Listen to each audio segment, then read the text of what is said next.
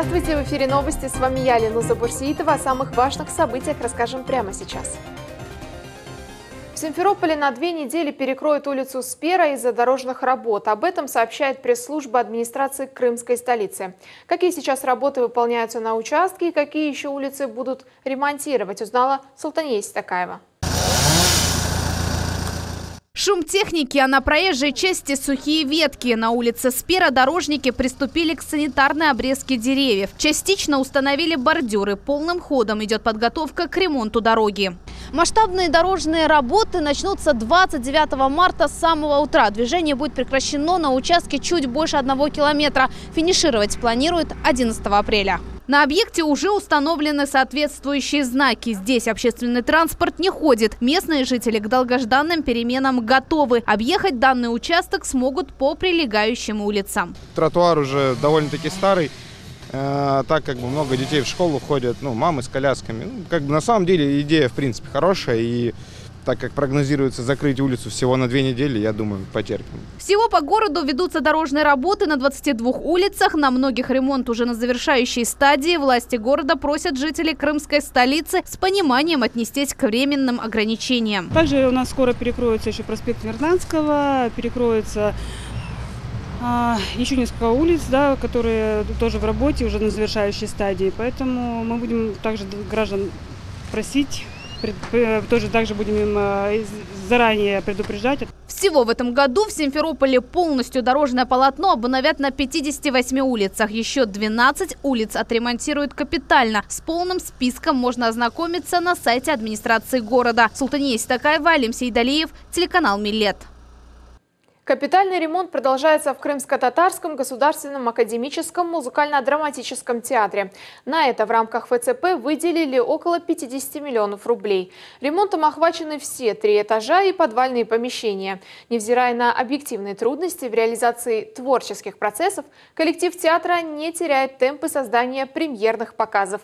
Эльмаса Блакимова продолжит. Работаем! Резко повернулись, резко!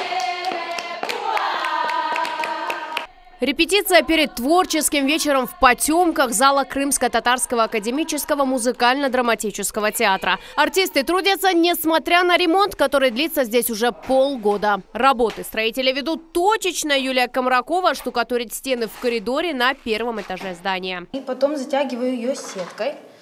А, для того, чтобы не было вот старых трещин и укрепить стену. Ремонт в подвалах и в котельной, а так будут выглядеть уже готовые кабинеты. В балетном зале на втором этаже осталось лишь выбрать напольное покрытие. Для артистов появились две дополнительные гримерные. Погрузить зрителя во времена Крымского ханства или, скажем, в 90-е годы прошлого века, помимо актерского таланта, поможет соответствующий наряд. Более тысячи экземпляров эксклюзивных костюмов угу. для спектаклей. И мы храним сейчас в данный момент в хороших условиях, в тепле, в сухости. А раньше как было? Ну, относительно было старались в других помещениях держать.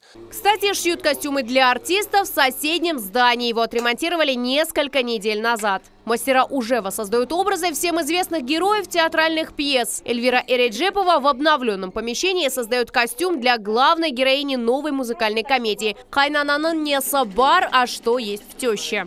Главное освещение обалденное здесь. Вот, светло, уютно, тепло главное для нас. Ну, все как надо.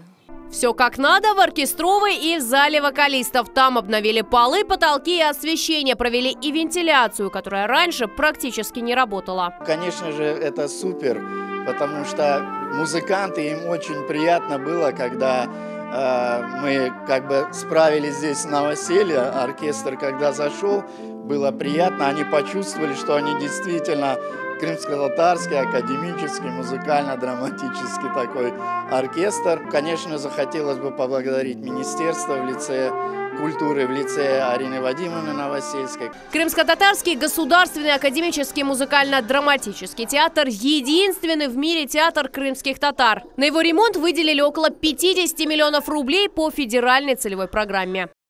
Ремонт фасада хотели начать еще в марте, но из-за погодных условий работы перенесли на апрель. Здесь планируют установить несколько колонн у входа, а также полностью освежить внешний вид здания. Посетить обновленный театр можно будет уже в октябре. Эльмаса Блакимова и Виталий Голубев, телеканал «Миллет».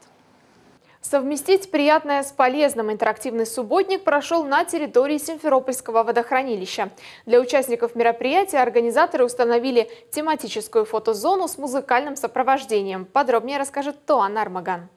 На берегу Симферопольского водохранилища сегодня с утра многолюдно. Зарядка, уборка, положительные эмоции. Молодежь крымской столицы – участники интерактивного субботника. Ян Каразан, руководитель проекта в команде «Добра», рассказывает, что ему и его команде хотелось предложить сделать что-то новое и необычное. Помимо того, что ребята проводят социально полезные дела, занимаются уборкой мусора, Помимо этого мы еще устраиваем здесь дискотеку, кос, костер огромный, чтобы люди могли согреться, кормим всех пловом. Комитет молодежной политики Республики Крым предоставил проекту в команде «Добра» нужный инвентарь. Организовал музыкальное сопровождение и фотозону. Наша -то задача поддерживать молодежные инициативы, давать возможность ребятам э, поддержку и все, все, что необходимо им было, все, что они от нас попросили, мы, в принципе, все предоставили, э, оказали взаимодействие с другими министерствами, ведомствами. В начале субботника зарядка. После участники делятся на 10 команд. В каждой по 10 человек. Кураторы проводят инструктаж, рассказывают о важности раздельного сбора мусора. Сейчас участники интерактивного субботника разделились на команды и начали убирать мусор. Мы решили присоединиться к одной из команд – так как экологическую чистоту должен соблюдать каждый из нас. Организаторы распределили прибрежную территорию водохранилища на 10 зон. Илья Усик собирает пластик, бумагу, стекло. Считает, чистоту должен соблюдать каждый. Каждый гражданин, он должен заботиться о сохранности своей а, природы вот, и, собственно, ну, поддерживать а, чистоту в своем городе.